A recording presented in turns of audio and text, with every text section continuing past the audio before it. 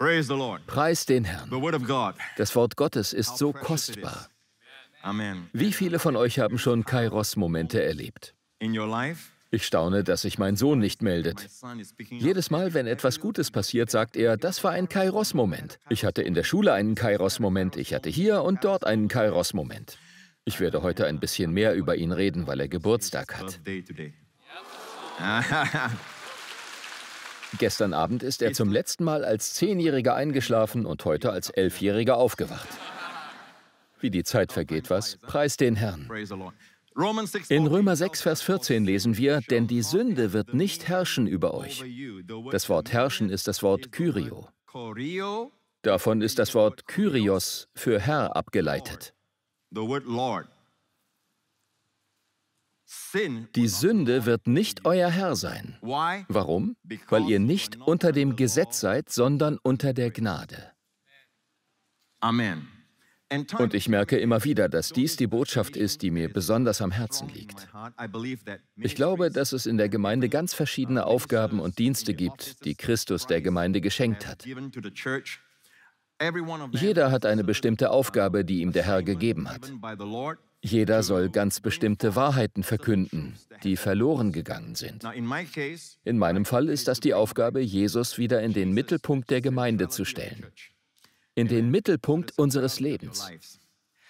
Und ich soll das Evangelium der Gnade predigen. Ich soll das Evangelium wiederherstellen, wie Paulus es ganz am Anfang gepredigt hat. Weil uns das fehlt, erleben wir so viele Krankheiten und moralische Schwäche und Versagen in der Gemeinde. Ich will euch etwas sagen. Menschen enden sogar im Ehebruch oder mit anderen Problemen, weil sie das Falsche glauben. Wir konzentrieren uns so sehr auf falsches Verhalten, dass wir die tiefere Ursache übersehen, den falschen Glauben. Amen. Dass man nicht glaubt, dass der alte Mensch gekreuzigt worden ist, dass wir nichts mehr mit dem alten Menschen zu tun haben. Statt das zu glauben, beschäftigen wir uns immer noch mit dem alten Menschen. Wir reden die ganze Zeit über ihn. Übrigens, mit altem Menschen meine ich nicht eure Väter, ihr jungen Leute. Ich meine damit euer Fleisch, den Teil von euch, der sündigen will. Dein altes Ich, das gestorben ist. Sein Lebensstil, seine Prinzipien, seine Denkweise und seine Emotionen sind immer noch da, weil du lange danach gelebt hast. Die Sünde im Fleisch ist also immer noch da. Wir bezeichnen das als Fleisch. Es ist eine falsche Identität. Der Teufel will, dass du in dieser alten Identität lebst. Aber das ist eine falsche Identität. Das bist du nicht. Das ist nicht die richtige Identität. Du bist nicht sündig, du warst ein Sünder. Du bist wiedergeboren. Wenn du wiedergeboren bist, bist du aus Gerechtigkeit und wahrer Heiligkeit erschaffen. Und alle Leute sagen Amen. Doch es mangelt an Erkenntnis, es mangelt an Verkündigung. Und wir dürfen nicht den Leuten die Schuld dafür geben. Pastoren und Leiter, wir dürfen nicht den Leuten die Schuld geben. Die Leute glauben, was ihnen beigebracht wird. Es mangelt an der Verkündigung der Botschaft von Christus. Und damit ist nicht nur die Botschaft von Gottes Wort gemeint. Das kann jeder Teil der Bibel sein. Ja, alles darin ist vom Geist inspiriert, aber besonders das Alte Testament muss in das Wort von Christus übersetzt werden. Versteht ihr? So wie Jesus es auf dem Weg nach Emmaus getan hat. Als Jesus auf dem Weg nach Emmaus aus dem Alten Testament lehrte, denn das war damals die einzige Schrift, die sie hatten, was sagte Jesus da zu den beiden? Er erklärte ihnen die Tora und die Propheten. Er erklärte ihnen die alttestamentlichen Schriften, in denen es um ihn ging. Und das bewirkte etwas bei ihnen. Es erwärmte ihre Herzen, es belebte sie geistlich. Und es hatte auch eine körperliche Wirkung. Es belebte sie, nachdem sie elf Kilometer von Jerusalem nach Emmaus gelaufen waren. Nachdem sie während des Weges von Jesus mit dem Wort gewaschen worden waren, gingen sie die elf Kilometer wieder zurück. Es war also auch körperlich etwas mit ihnen passiert. Und das geschah an einem Sonntag. Warum zeigte ihnen der auferstandene Christus all das, obwohl er so viel wichtigere Dinge zu tun hatte, nachdem er von den Toten auferstanden war? Ich bin sicher, dass er am ersten Tag viel Wichtigeres zu tun hatte, anstatt einfach mit den beiden zurückzugehen. Sie waren mutlos und niedergeschlagen. Warum sollte Jesus Zeit mit ihnen verbringen? Nun, ich glaube, dass er uns allen zeigen wollte, was wir an einem Sonntag tun sollen. Er ist an einem Sonntag von den Toten auferstanden. Ist euch aufgefallen, dass er den Jüngern stets sonntags erschien, nachdem er von den Toten auferstanden war? Es gibt keinen genauen Bericht dazu, wann er Zeit mit ihnen verbrachte. Dort steht nur, dass er in diesen 40 Tagen Zeit mit ihnen verbrachte. Those 40 days, right? But Aber uns wird in den Evangelien gezeigt, dass Jesus den Jüngern einen Sonntag nach dem anderen erschien. Deswegen sagen manche, das sind Sonntagschristen. Ja, hoffentlich sind wir Sonntagschristen. Deswegen feiern wir am Sonntag Gottesdienst. Die Juden arbeiten und ruhen dann. Das ist der alttestamentliche Stil. Amen. Aber nun ist das Neue Testament da. Wir haben einen neuen Bund. Wir gehen zuerst in die Ruhe ein. Der Tag, an dem Jesus auferstand, ist unser erster Tag.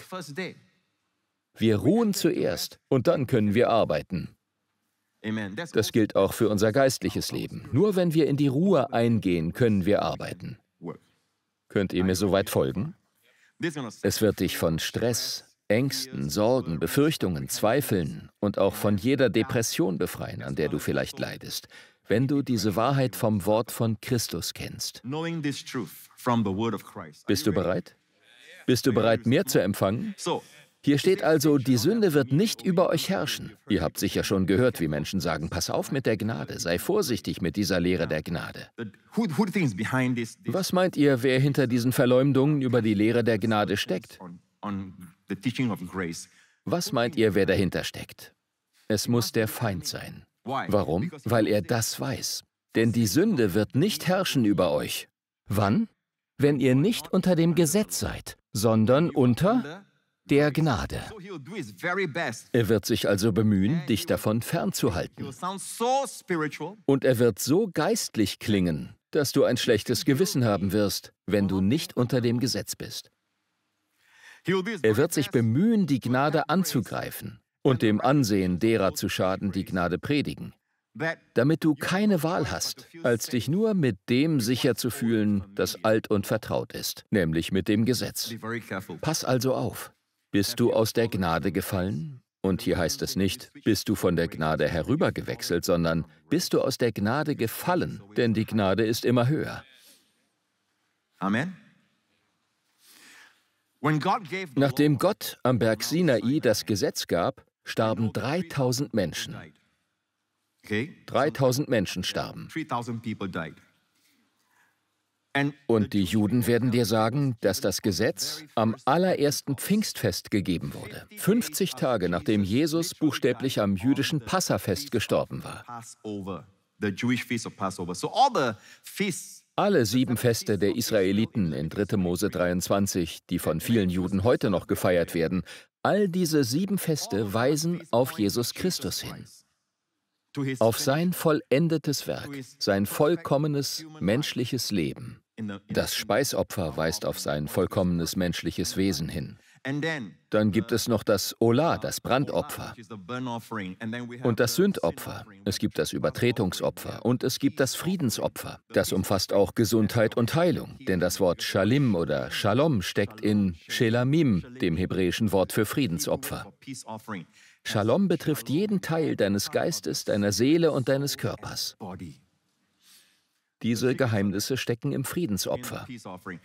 Die sieben Feste Israels stellen also dar, was Jesus getan hat. Jesus ist buchstäblich gestorben. Und ich glaube, dass er zum Laubhüttenfest geboren wurde. Deswegen steht in der Bibel, er wohnte unter uns. Auf Griechisch steht dort wörtlich, er tabernakelte unter uns. Das Wort für das Laubhüttenfest. Er wurde zum Passafest gekreuzigt. Zum Fest der Erstlingsfrüchte ist er auferstanden, weil er die erste Frucht ist. Amen. 50 Tage nach dem Passafest standen sie am Fuß des Berges Sinai. Und was geschah? Dort wurde ihnen das Gesetz gegeben und 3000 Menschen starben. In der Bibel steht, der Buchstabe tötet, das Gesetz tötet, aber der Geist schenkt Leben. Und dann haben wir das Pfingstfest. Damit feiern sie den Tag, an dem die Torah gegeben wurde. Wenn man heute mit einem Juden spricht, der seine Bibel kennt und ihn fragt, an welchem Fest das Gesetz gegeben wurde, was wird er dann sagen? Nicht das Passafest, nicht das Laubhüttenfest, sondern das Pfingstfest. Sie nennen es. Shavuot. Amen. Sie feiern dort, dass das Gesetz gegeben wurde. Wir feiern zu Pfingsten, was in Apostelgeschichte 2 geschah. Als der Tag der Pfingsten erfüllt war, gab Gott, was gab er? Den Geist. Er kam wie ein brausender, mächtiger Wind, als könne er es nicht erwarten, die Gläubigen zu erfüllen. Und er erfüllte sie alle. Wir feiern also Pfingsten als den Tag, an dem der Heilige Geist gegeben wurde. Das Versprechen an Abraham wurde erfüllt. Und was geschah? 3000 Menschen wurden durch die Predigt von Petrus zu Pfingsten gerettet. Das zeigt uns, dass man unter dem Gesetz stirbt. Aber unter der Gnade lebst du. Am Gesetz selbst ist nichts falsch. Die Moral des Gesetzes ist etwas, an das wir uns immer noch halten sollen, nicht wahr? Aber ich will es so sagen, nicht wir müssen es halten, vielmehr wird es in uns gehalten, wenn wir in diesem Bewusstsein fließen. Aber der Teufel will, dass wir uns auf das Gesetz konzentrieren und versuchen es zu halten. Und genau das tun viele Menschen. Und dadurch fallen sie unter Römer 7. Paulus sagt, je mehr ich versuche, das zehnte Gebot zu halten, du sollst nicht auf das neidisch sein, was anderen gehört, je mehr ich versuche, nicht neidisch zu sein, desto mehr entdecke ich alle möglichen Gelüste in mir. Es schürt sie. Du sollst nicht begehren. Je mehr ich versuche, nicht zu begehren, desto mehr begehre ich. Der Teufel will dir also das Gesetz ins Bewusstsein rufen, denn je mehr du versuchst, es zu halten und deine menschliche Kraft aktivierst, desto eher wirst du fallen. Und du weißt nicht einmal, wie du fällst. Du fällst einfach sofort und weißt nicht einmal, wie du gefallen bist. Es fängt alles damit an, dass du versuchst, gut zu sein und zu tun, was gut ist. Hört ihr? Einmal ging eine Gruppe von Jungen an einem Gewächshaus vorbei. Ihr kennt ein Gewächshaus, oder? Es besteht aus viel Glas. Und es geschah nichts. Sie dachten sich nichts. Aber am Ende der Straße stand ein anderes Gewächshaus und dort stand ein Schild. Keine Steine werfen. Zerbrechlich. Es war niemand da. Ein Junge schaute den anderen an, ein anderer schaute wieder einen anderen an. Was glaubst du, was sie dachten? Beim ersten Gewächshaus dachten sie gar nichts. Das Gewächshaus ist nicht das Problem. Auch die Schilder beim anderen sind nicht das Problem. An den Schildern ist nichts falsch. Aber am Fleisch ist etwas falsch. Das Fleisch braucht ein Gesetz, um aktiviert zu werden. Deswegen steht in der Bibel, die Kraft der Sünde aber ist das Gesetz. Am Gesetz ist nichts falsch. Das Gesetz ist heilig, gerecht und tadellos. Aber es kann dich nicht gerecht machen. Es kann dich nicht heilig machen. Wie wirst du also heilig? Nicht indem du dich auf das Gesetz konzentrierst, sondern indem du dich auf Jesus konzentrierst. Wir sollen in ihm wandeln. Und dann musst du dir auch keine Sorgen um das Gesetz machen. Das Gesetz ist beschränkt. Das Gesetz sagt, du sollst nicht Ehe brechen. Aber es gibt Menschen, die nicht die Ehe brechen, weil sie zum Beispiel kein Geld dafür haben. Sie können es in Gedanken tun, aber nicht körperlich, weil... In manchen Fällen, nicht in allen. Manche begehen ihren Frauen gegenüber keinen Ehebruch, aber sie lieben ihre Frauen auch nicht. Ist das Gottes Wille?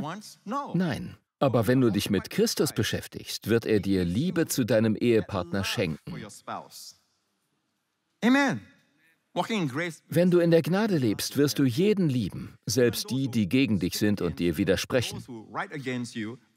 Ich sage dir, dann wird dein Herz mit Liebe zu ihnen erfüllt. Du wirst Mitleid mit ihnen haben. Es ist schwer, über eine lange Zeit Bitterkeit mit sich herumzutragen. Sie tun dir leid. Wenn die Leute schlecht über mich schreiben, fragen mich manche, Pastor, ich hoffe, es geht dir gut. Macht euch keine Sorgen um mich. So etwas sagte Jesus auch zu den Leuten, als er sein Kreuz trug. Was sagte er da? Don't cry for me, Argentina. No. Nein, das hat er nicht gesagt. Aber er sagte, weint nicht um mich, ihr Töchter Jerusalems, sondern weint um euch und eure Kinder. Amen. Keiner von uns kann an andere denken, wenn er leidet. Wir denken nur an uns. Aber Jesus hatte Zeit, um an andere zu denken. Wie selbstlos, wie wunderschön seine Moral ist. Seine moralische Schönheit und Vortrefflichkeit zeigen sich gerade dort, wo er leidet. Selbst am Kreuz tröstete er den Verbrecher, der sagte, Herr, denk an mich. Jesus sagte zu ihm, heute noch wirst du mit mir im Paradies sein. Er dachte an seine Mutter und den Kummer eines Mutterherzens. Und er sagte zu Johannes, sie ist jetzt deine Mutter, kümmere dich um sie. Und die ganze Zeit dachte er an uns. Vater, vergib ihnen, denn sie wissen nicht, was sie tun. Ach, wären wir nur wie Jesus. Wenn ich mich anschaue und du hoffentlich dich anschaust und dich mit unserem Herrn Jesus vergleichst, siehst du da, wie wenig wir davon erreichen. Wir sind jeden Tag gereizt. Wir wissen nicht warum. Wir sind einfach gereizt. Der Teufel will, dass du dir Mühe gibst, nicht gereizt zu sein, dass du versuchst, es zu unterdrücken. Aber das ist der sichere Weg, um noch viel gereizter zu werden. Wie kommst du da also wieder raus? Indem du dich auf Jesus konzentrierst, nicht auf das Gesetz. Also noch einmal, wir sind für das Gesetz, aus dem Grund, aus dem Gott es gegeben hat. Nicht damit der Mensch dadurch gerettet wird. Ist euch das klar? Weiter. Als Gott die Israeliten aus Ägypten herausführte, gab es noch keine zehn Gebote. Sie waren noch nicht gegeben worden. Sagt Amen. Einen Moment lang habe ich gedacht, ich würde in einer anderen Gemeinde predigen. Na gut, noch einmal. Habe ich recht, New Creation Church? Bin ich in der richtigen Gemeinde? Als Gott sie aus Ägypten herausführte, kannten sie da die zehn Gebote? Nein, sie waren noch nicht gegeben worden. Der Berg Sinai lag vor ihnen, falls ihr die Reihenfolge nicht kennt. Die Befreiung aus Ägypten kam zuerst. Und wie kamen sie aus Ägypten heraus? Durch das Blut des Lammes. Waren sie gute Menschen? Wurden sie befreit, weil sie gut waren? Nein, sondern weil er gut ist. Es ist seine Güte. Dann führte er sie durch das Rote Meer, nicht wahr? Hinter ihnen kamen die marodierenden Truppen des ägyptischen Heeres. Vor ihnen lag das tiefe, tiefe Rote Meer. Und sie murrten. Murren ist eine Sünde. Aber Gott schien gar nicht auf ihre Sünde einzugehen. Er behandelte sie auf der Grundlage des Bundes mit Abraham, dem abrahamischen Bund der Gnade. Und Gott teilte das Meer. Was für ein Bund. Es scheint, als würde Gott ihr Murren gar nicht beachten. Gott führte sie durch das Rote Meer, weil er treu ist, nicht weil sie treu waren. Auf der anderen Seite murrten sie wieder, weil sie nach drei Tagen kein Wasser hatten. Sie murrten über das bittere Wasser von Mara. Doch Gott heilte das Wasser, trotz ihres Murrens. Und Gott sagte, ich bin der Herr, der dich heilt. Sie murrten, dass es kein Essen gab. Gott gab ihnen Manna vom Himmel. Jeden Tag bekamen sie die Nahrung von Helden. Sie mussten sich keine Sorgen machen, ob es Bio war oder ob künstliche Aromen oder Farbstoffe darin steckten. Es war reines Manna vom Himmel. In den Psalmen steht, die Menschen aßen das Brot der Engel. Sperr den Mund auf. Und das jeden Morgen.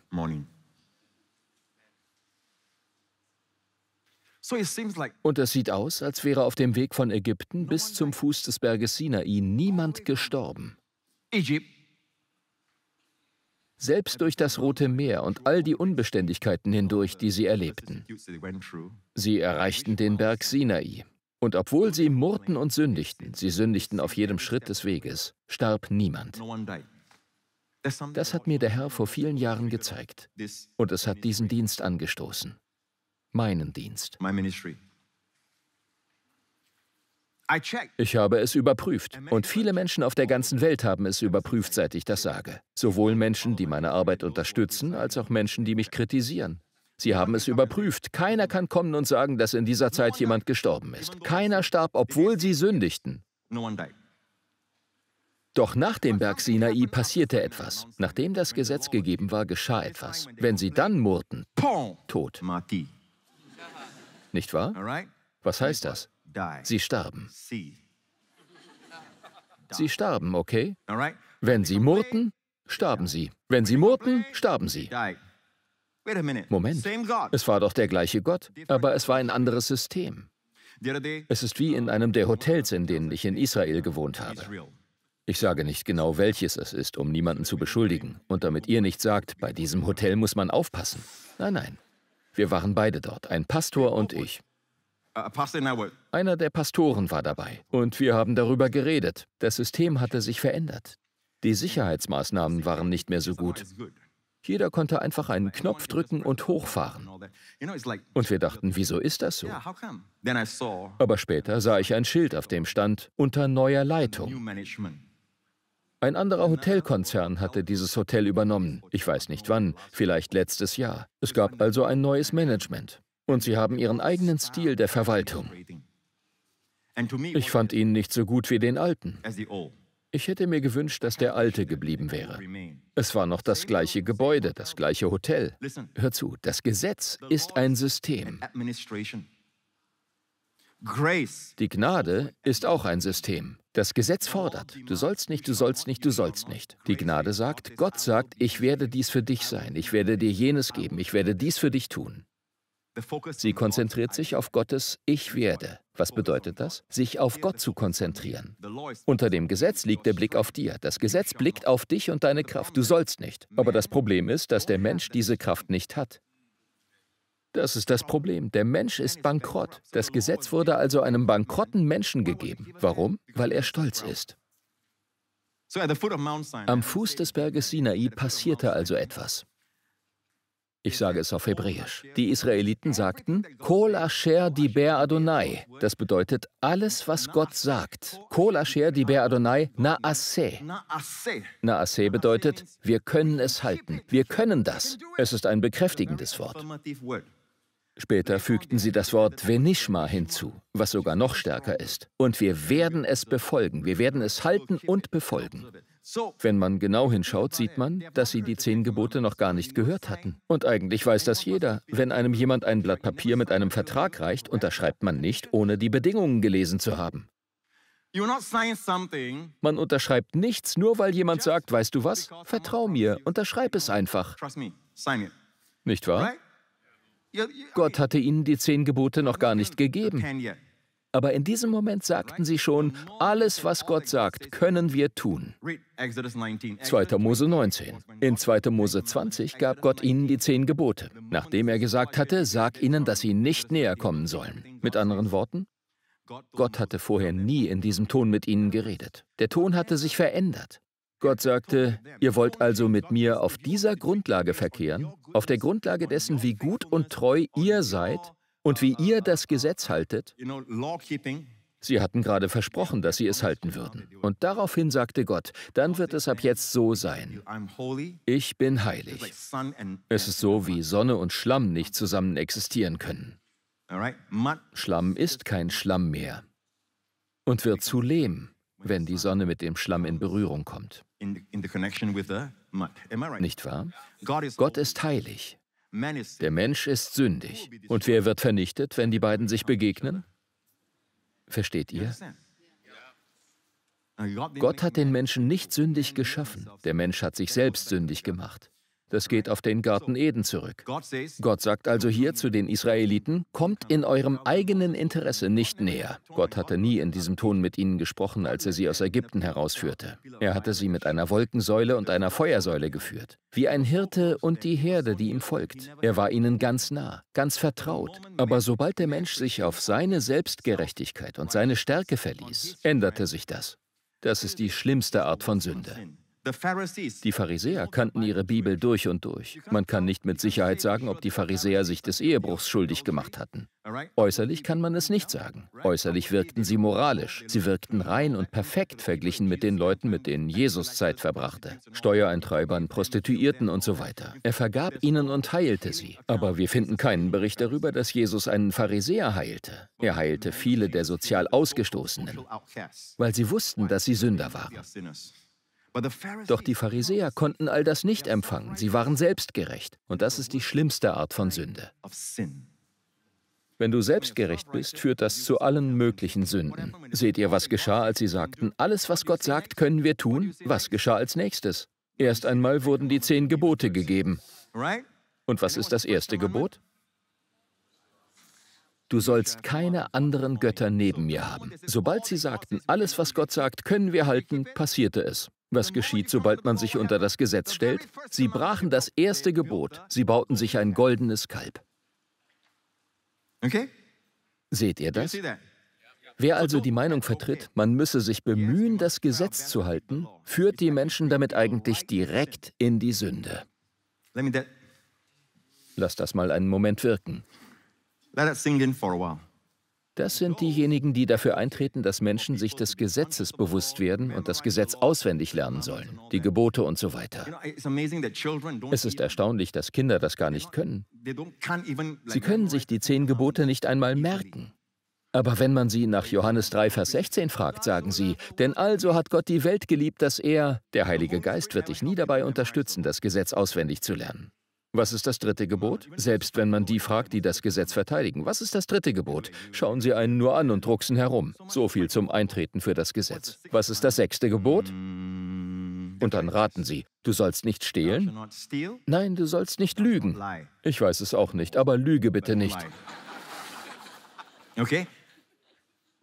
Doch ist mein Leben durch die Gnade Gottes nun ein sündiges Leben? Natürlich sieht Gott Dinge, die kein Mensch sieht. Aber ich sage dir jetzt etwas. Ich liebe es, mich in Jesus zu verlieben. Ich liebe jeden Gedanken, jeden Tag immer mehr von ihm zu erkennen. Und hinter mir steht keine andere Frau als meine Ehefrau. Na gut, es gibt noch eine andere Frau, die ich liebe, meine Tochter. Amen. Ja, sie ist die einzige, zu der ich Ich liebe dich sage. Und sie daraufhin antwortet, ich liebe dich auch. So ist das. Ich werde es diese paar Jahre lang noch genießen, bevor sie mir gestohlen wird. Wer sie stehlen will, sollte übrigens bedenken, mich für den Rest seines Lebens als seinen Schwiegervater am Hals zu haben.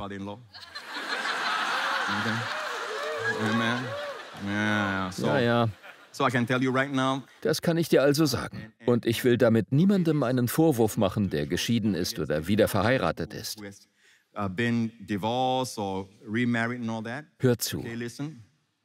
Wir alle wissen, dass es Gnade gibt, preis den Herrn. Aber manche Leute denken, dass ich Gnade predige, weil Wendy vielleicht nicht meine erste Frau ist. Nein, sie ist meine erste Liebe und Frau, okay? Die erste Liebe, und meine einzige, letzte Liebe ist meine Frau Wendy. Okay? Okay? Okay? Apropos Moral. Sag nicht zu anderen, weißt du, diese Gemeinde redet über Gnade, aber dort passieren lauter sündige Dinge. Wenn du genau hinschaust, wirst du überall Menschen finden, die in Sünde leben. Sie kommen in jede Gemeinde. In deiner Gemeinde gibt es sie auch. Aber ich kenne Menschen, die in unsere Gemeinde kommen und feststellen, dass unsere Leute unglaublich sind. Sie sagen, sogar eure Platzanweiser sind voller Licht und Strahlen. Das haben wir auch in einem Hotel erlebt. Solche Zeugnisse hören wir oft. Nicht wahr, Lawrence? Leute sagen immer wieder, was ist mit euch allen los? Manchmal denken sie, wir seien Promis, weil Lawrence dabei ist. Sie fragen, seid ihr Promis? Was für Leute seid ihr?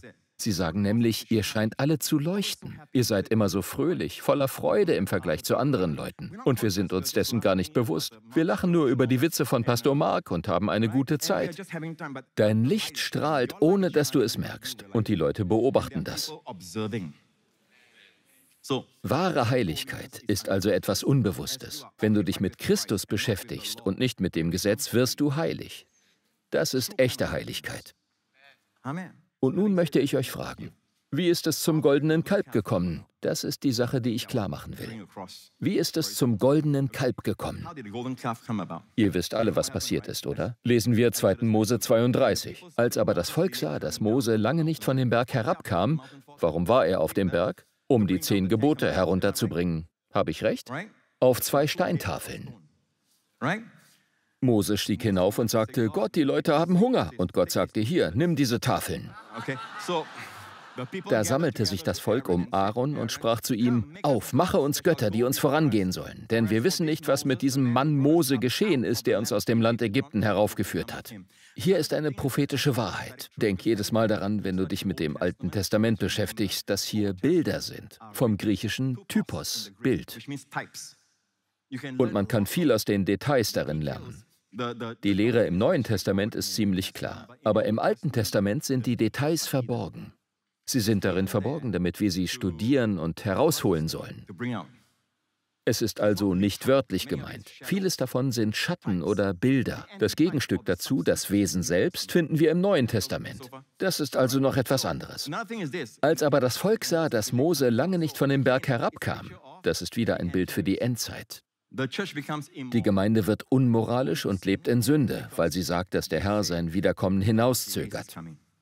Aber bei allen, die stets auf das Wiederkommen des Herrn vorbereitet sind, passiert das Gegenteil. Was geschah also? Nächster Vers. Da sprach Aaron zu ihnen, reißt die goldenen Ohrringe ab, die an den Ohren eurer Frauen, eurer Söhne und eurer Töchter sind, und bringt sie zu mir. Da riss sich das ganze Volk die goldenen Ohrringe ab, die an ihren Ohren waren, und sie brachten sie zu Aaron. Damals trugen sie also goldene Ohrringe, okay? Erinnert ihr euch an die Geschichte von Rebekka, die ich einmal erzählt habe? Nachdem sie allen Kamelen von Abrahams Diener Wasser gebracht hatte, holte Abrahams Diener einen goldenen Ohrring heraus. In manchen Übersetzungen, zum Beispiel der, die wir in dieser Gemeinde verwenden, steht goldener Nasenring. Es kann also entweder ein Nasenring oder ein Ohrring sein. Es kann beides sein. Ich tendiere eher zu Ohrring. Und hier geht es eindeutig um Ohrringe. Warum? Weil hier steht, reißt die goldenen Ohrringe ab, die an den Ohren sind. Das kann also kein Nasenring sein. Und im nächsten Vers steht, da riss sich das ganze Volk die goldenen Ohrringe ab, die an ihren Ohren waren. Es wird also betont. Okay, Schauen wir uns die Geschichte von Rebekka im ersten Buch Mose an. Und es geschah, als die Kamele alle getrunken hatten, da nahm er einen goldenen Ring. Denk einfach daran, wenn du in einer anderen Übersetzung Nasenring liest. Das ist einfach eine Meinung, okay? Ich glaube, dass es ein Ohrring ist, weil hier das gleiche Wort verwendet wird. Nesem, Ohrring. Gold, Sahaf. Ohrring aus Gold. So heißt es auf Hebräisch. Also das gleiche Wort wie das, was wir gerade gelesen haben. Aber siehst du das? Einen halben Schekel schwer. Einen halben Schekel schwer. Behaltet das im Hinterkopf, okay? Zurück zur Geschichte. Wir fragen uns, wie das goldene Kalb entstanden ist. Denn hör zu, wenn du das weißt, wirst du die Antwort für deine Gesundheit, deine Heilung oder alles andere finden, was du von Gott bekommen möchtest. Ich meine es ernst. Reiß die goldenen Ohrringe ab. Im nächsten Vers, in Vers 4 heißt es, und er nahm es aus ihrer Hand entgegen und bildete es mit dem Meißel und machte ein gegossenes Kalb. Da sprachen sie, das sind eure Götter, Israel, die dich aus dem Land Ägypten heraufgeführt haben. Über das goldene Kalb denken wir immer, ja, das ist ein Götze, ein goldenes Götzenbild. Aber es ist mehr als das. Was bedeutet es heute?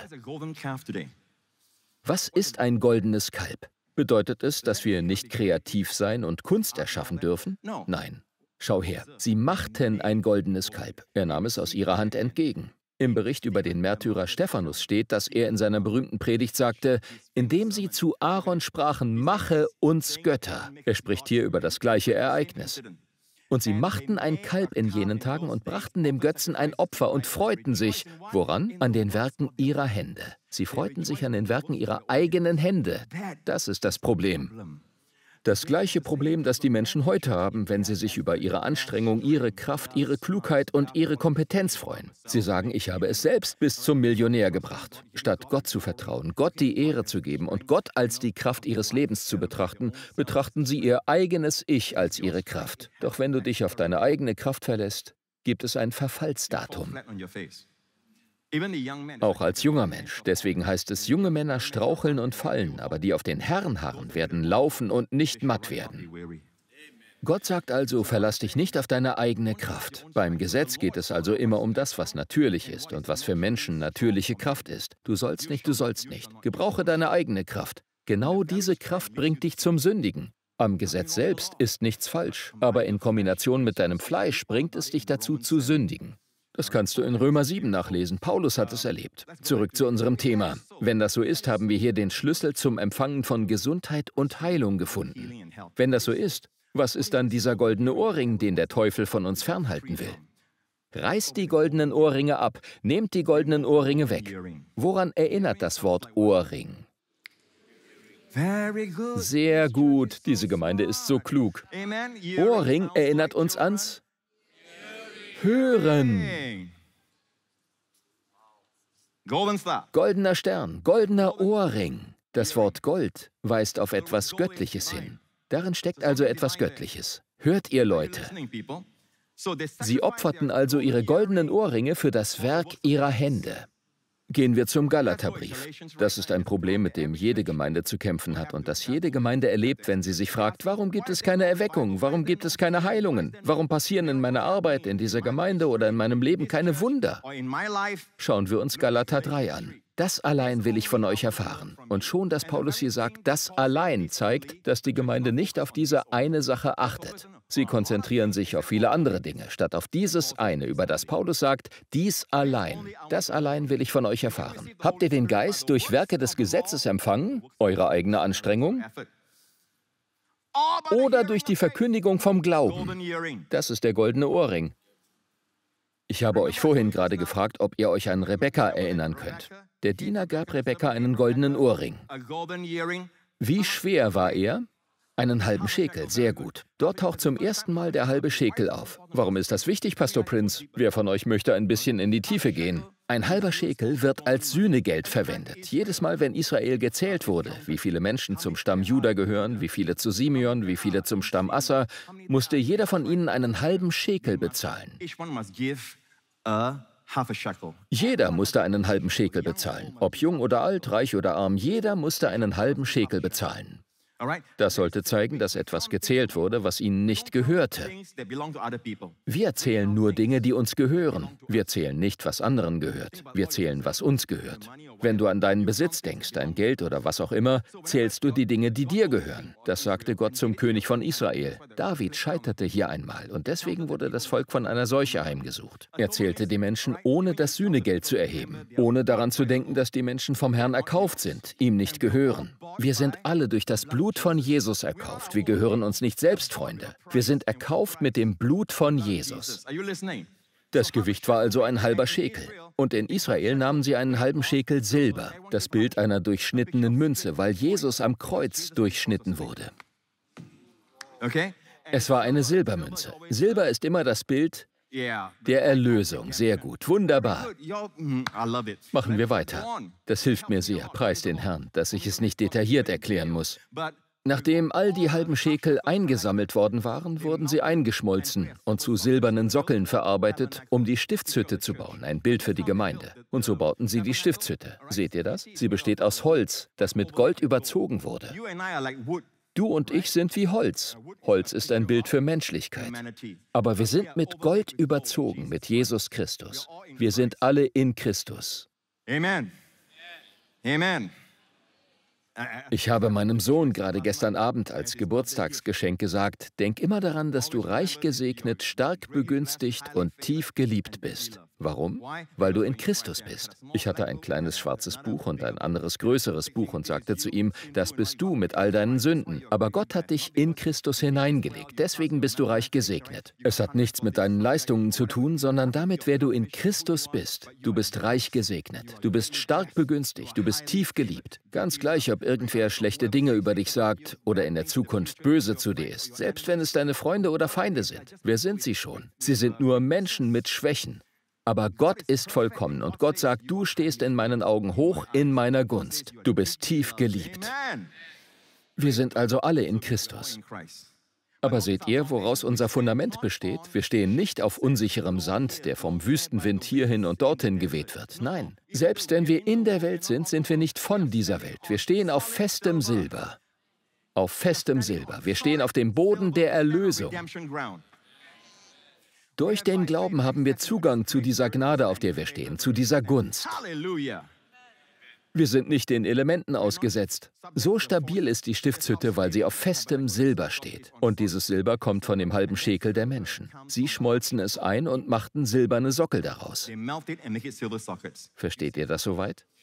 All das ist eine Erklärung zum goldenen Ohrring. Zurück zur Geschichte. Ich zeige euch jetzt die Interlinear-Version. Wir schauen uns doch einmal den goldenen Ohrring an. Da riss sich das ganze Volk. Und in dieser Version lesen wir das Hebräische von rechts nach links. Da riss sich das ganze Volk die goldenen Ohrringe ab, die an ihren Ohren waren, und brachten sie zu Aaron. So liest man es. Und seht ihr, vor dem Wort Ohrringe, Aleph Taf. Einige von euch wissen es, damit ist Jesus Christus gemeint. Deswegen wollte der Teufel nicht, dass sie goldene Ohrringe hatten, denn es ist das Hören auf die Botschaft von Jesus Christus.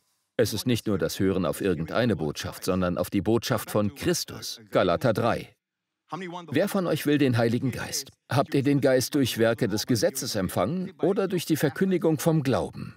Durch Anstrengung, durch religiöse Werke, gute Taten? So bekommt man ihn nicht, sondern durch die Verkündigung vom Glauben. Und die Verkündigung vom Glauben ist die Verkündigung von Jesus Christus.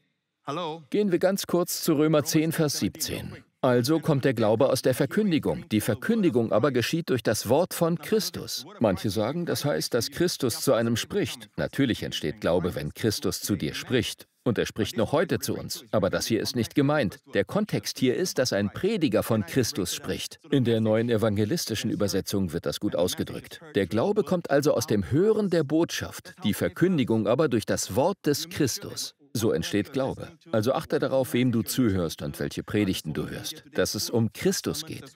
Dass Christus im Mittelpunkt steht. So kann das Hören der Botschaft in deinem Leben etwas bewirken. Und was passiert durch das Hören der Botschaft? Dann empfängst du den Heiligen Geist. Und nicht nur das, zurück zu Galater 3. Seid ihr so unverständig? Im Geist habt ihr angefangen und wollt es nun im Fleisch vollenden? Warum weist er sie zurecht? Weil sie unter der Gnade angefangen hatten. Doch nun kamen auf einmal einige Lehrer aus Jerusalem, die ihnen sagten, sie müssten unter dem Gesetz sein. Also stellten sie sich unter das Gesetz. Sie vermischten Gesetz und Gnade. Und Paulus sagt, dass das unverständlich ist. Im Geist habt ihr angefangen und wollt es nun im Fleisch vollenden? Und dann stellt er die Frage, so viel habt ihr umsonst erlitten, wenn es wirklich umsonst ist. Der Gott euch nun den Geist darreicht. Mit diesem Wort ist ein ständiges Versorgen gemeint. Vom Wort Corrigeo, das mit Choreograf verwandt ist. Da ist jemand, der eine Tanzgruppe anleitet. Damals gab er ihnen ihr ganzes Essen und ihre Kostüme, alles. Gott, der euch gibt, das Griechische ist hier sehr schön. Gott, der euch nun den Geist darreicht und Kräfte in euch wirken lässt. Und auch das Wort wirken ist hier ein ständiges Wirken. Er lässt stetig Kräfte wirken. Möchtest du, dass Gott in deiner Familie, in deinem Leben, an deinem Arbeitsplatz oder in deiner Gemeinde stetig wirkt und Wunder schenkt? Darum geht es. Und warum erleben wir das nicht? Nun lesen wir hier, tut Gott es durch Werke des Gesetzes? Durch unsere Kraft, unsere Anstrengung? Indem wir das Gesetz halten, auch wenn es vor den Leuten von außen so gut aussieht, ist das alles eine Illusion, weil es dich zum Sündigen bringt. Oder durch die Verkündigung vom Glauben. Ich behaupte, dass das der Grund ist, warum man oft keine Wunder im Leben der Menschen und in den Gemeinden sieht. Aus diesem Grund, weil sie immer noch unter dem Gesetz sind. Sie werden sagen, wir sind nicht vollkommen unter dem Gesetz. Und ich stimme zu, sie haben das gleiche Problem wie die Galater. Sie nehmen die Gnade an, aber sie halten auch das Gesetz. Und das ist noch schlimmer. Man hat genug Gnade, um sich selbst zu täuschen, sodass man glaubt, man sei unter der Gnade. Aber man holt das Gesetz dazu und macht damit die Wirkung der Gnade zunichte. Denn so nimmt man die Gnade und füllt sie in alte Weinschläuche.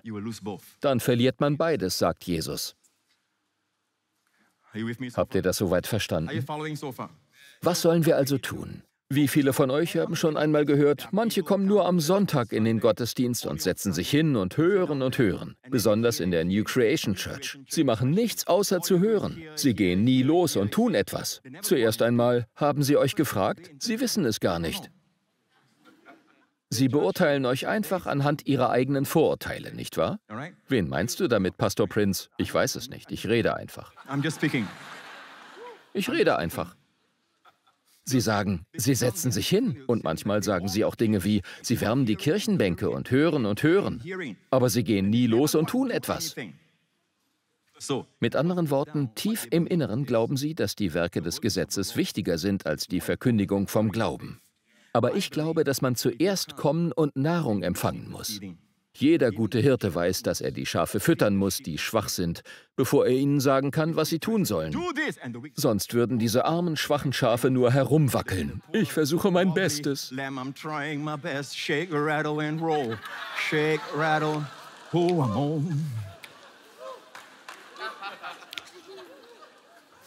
Ah, jetzt seid ihr wach.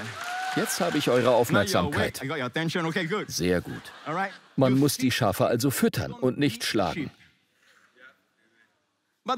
Aber das Schaf kann nicht mal richtig laufen. Das ist ein schlechtes Zeugnis. Ich muss es schlagen.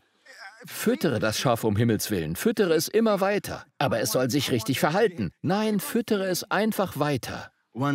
Eines Tages wird es stark sein. Eines Tages wird es so laufen können, wie du es dir von ihm wünschst. Amen. Die Verkündigung des Glaubens ist also wichtiger. Höre stets auf die Verkündigung. Aber Pastor, ich glaube, ich mache zu wenig. Du machst mehr, als du denkst. Und das Beste daran ist, dass du es unbewusst machst. Du strahlst mehr, als du denkst. Und das passiert nicht durch Machen. Es passiert durch Hören. Man erkennt den Unterschied zwischen anderen Leuten und den Leuten aus der New Creation Church. Man erkennt sie überall. Wenn man sie im Einkaufszentrum sieht, haben sie immer dieses unglaubliche, breite Pastor Lawrence-Lächeln im Gesicht. Pastor Lawrence Green. Oder das von Pastor Mark. Pastor Mark ist noch extremer. Ehrlich, sie scheinen immer zu strahlen. Wendy und ich merken das immer wieder. Wir sind natürlich voreingenommen. Es ist unsere Gemeinde, es sind unsere Leute. Also sind wir stolz auf sie. Aber wir sagen das immer. Und ich glaube, dass wir objektiv sind, wenn wir sagen, dass man die Leute aus unserer Gemeinde erkennt. Sie strahlen eine Freude und ein Leuchten aus. Eine Freude und ein Leuchten.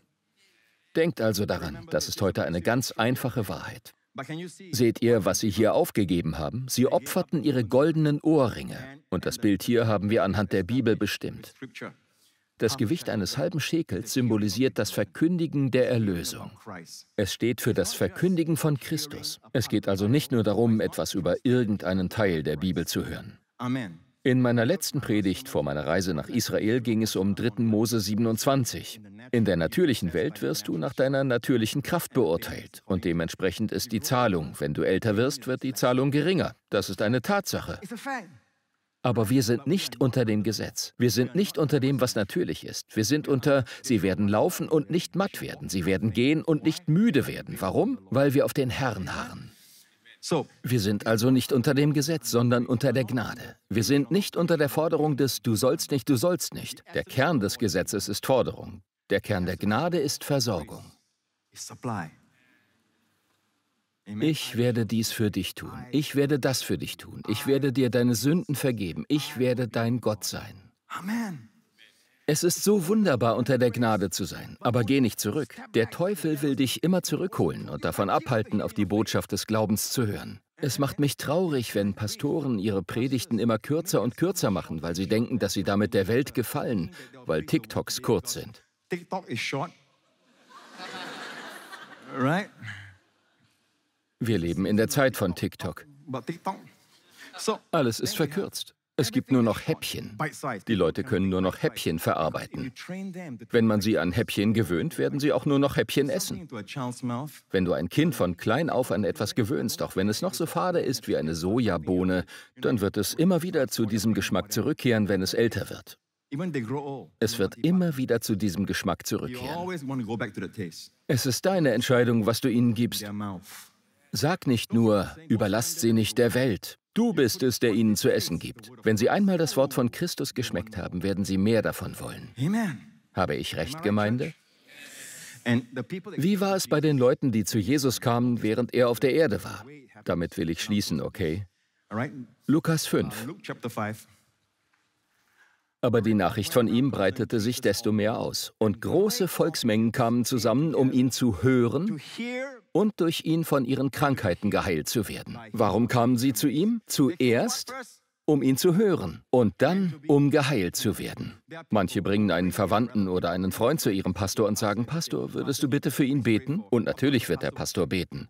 Warum? Weil er ein Pastor ist und dich nicht enttäuschen will.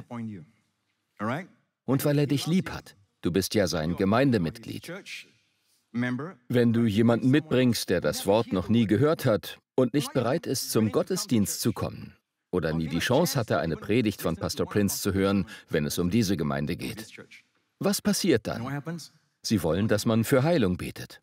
Aber siehst du, wie diese Leute hier Heilung empfangen haben? Sie kamen zuerst, um zu hören und dann, um geheilt zu werden. Im nächsten Kapitel sehen wir die Tendenz. Und er stieg mit ihnen hinab und stellte sich auf einen ebenen Platz mit einer Menge seiner Jünger und einer großen Menge Volkes aus ganz Judäa und von Jerusalem und von der Meeresküste von Tyrus und Sidon, die gekommen waren, um ihn zu hören und geheilt zu werden von ihren Krankheiten. Wieder die gleiche Reihenfolge. Sie kamen, um zu hören und geheilt zu werden. Auch die, welche von unreinen Geistern geplagt waren, und sie wurden geheilt. Und die ganze Volksmenge, ich liebe es, die ganze Volksmenge suchte ihn anzurühren, denn Kraft ging von ihm aus und heilte alle. Kein Superheld kann Jesus das Wasser reichen. Sie sind alle nicht real, aber die Welt läuft ihnen nach, weil sich unsere jungen Leute nach Jesus sehnen. Schaut her. Und die ganze Volksmenge suchte ihn anzurühren, denn Kraft ging von ihm aus und heilte alle. Ich war erst vor einigen Tagen dort in der Gegend von Galiläa. Kraft ging von Jesus aus und er heilte alle. Wunderschön. Was hat Jesus also getan? Das ist der Dienst von Jesus. Und mit diesem Vers will ich schließen. Jesus durchzog ganz Galiläa, lehrte in ihren Synagogen und verkündigte, verkündigte, sag, verkündigte das Evangelium von dem Reich und heilte alle Krankheiten und alle Gebrechen im Volk. Die Leute kamen also, um zu hören, und Jesus verkündigte. Sie kamen, um zu hören und um geheilt zu werden. Denk daran, denk immer daran.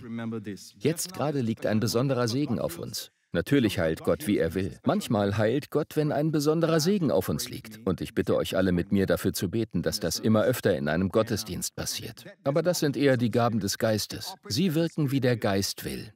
Der normale Weg für den Gläubigen ist, dass er zuerst hört und dann der Glaube kommt und dann wird er empfangen. Wenn du nicht empfängst, dann frag dich, hörst du die Botschaft von Christus? Achte darauf, dass es die Botschaft von Christus ist. Als die Frau mit den Blutungen von Jesus hörte, drängte sie sich in der Menge von hinten an ihn heran. Ich möchte euch noch ein kurzes Zeugnis vorlesen und dann dürft ihr gehen, okay? Dieses Zeugnis kommt von einer Schwester aus Singapur. Es hat uns erst vor ein paar Tagen erreicht. Ich wurde mit einem Defekt am linken Auge geboren, mit Narben auf meiner Netzhaut. Darum konnte ich 55 Jahre lang nur mit meinem rechten Auge sehen. Mein einziges gutes Auge ist aber stark kurzsichtig und ich hatte in diesem Auge auch einmal ein akutes Glaukom. Ein akutes Glaukom. Mein Augenarzt fürchtet, dass meine Netzhaut, die durch die starke Kurzsichtigkeit gedehnt und dünn geworden ist, mit der Zeit ebenfalls Narben bekommt und sich eine degenerative Myopie entwickelt, die zu Blindheit führen kann.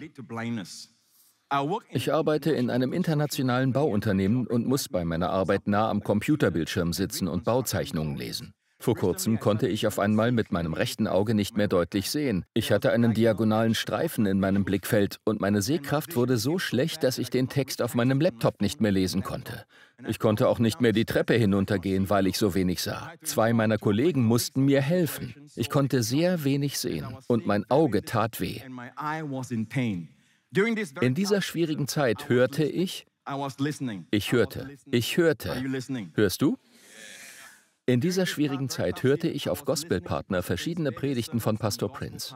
In einer seiner Predigten von 2002 sagte er, dass es der bessere Weg ist, zu glauben, der bessere Weg zu Heilung, zu glauben, was Gott in seinem Wort gesagt hat, wie der Hauptmann, der zu Jesus kam, damit sein Diener geheilt wird. Gott zeigte mir auch, dass ich über seine Versprechen nachdenken sollte. Glaube stieg in meinem Herzen auf, als ich die Botschaft von Christus immer wieder hörte.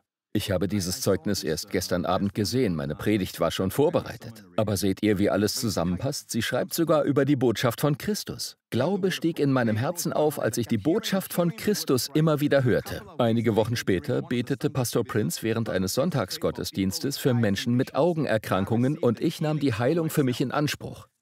Am nächsten Tag merkte ich, dass der diagonale Streifen über meinem Blickfeld verschwunden war. Ich konnte Wartet noch mit Klatschen, das ist der letzte Satz. Ich konnte den Text auf meinen Geräten wieder lesen und sogar dieses Zeugnis tippen, um von dem großartigen Wunder Gottes in meinem Leben zu erzählen. Lob und Ehre gehören allein unserem himmlischen Vater. Preis den Herrn. Gebt Jesus die Ehre. Halleluja. Danke, Herr. Thank you, Lord.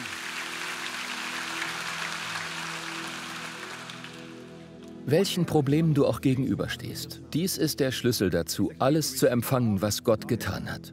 Manche Stimmen sagen dir, das Hören allein nicht genüge. Mach dir keine Gedanken um das Tun. Hör zu, wenn du lange genug hörst und lange genug Nahrung bekommen hast, wirst du auch handeln. Es ist dann, als hättest du all diese Kraft in deinem Inneren aufgestaut und dann musst du etwas tun.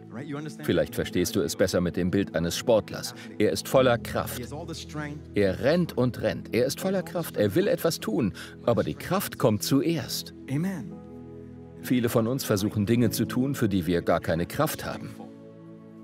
Also iss, höre, höre, um einen Weg aus der Krankheit zu finden. Höre, um einen Weg aus der Depression zu finden. Höre, um einen Weg aus dieser Schuld und Verdammung zu finden. Höre, um einen Weg aus all dem herauszufinden, mit dem der Teufel dich einschränken und zurückhalten will. Höre, um einen Ausweg zu finden. Der Ausweg ist das Hören auf die Botschaft von Christus.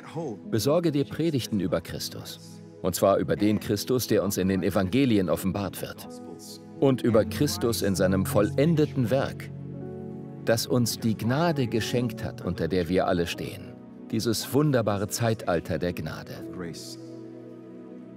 Wenn du nun sagst, Pastor Prince, ich möchte meinen Glauben auf Jesus Christus setzen und ich möchte es heute machen, gleich jetzt.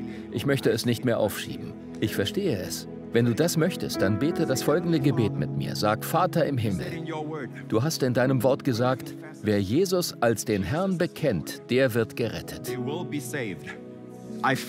Ich danke dir, dass Jesus Christus mein Herr ist. Und ich glaube, dass er am Kreuz für meine Sünden gestorben ist. Er wurde von den Toten auferweckt, als ich gerechtfertigt und von all meiner Schuld befreit war.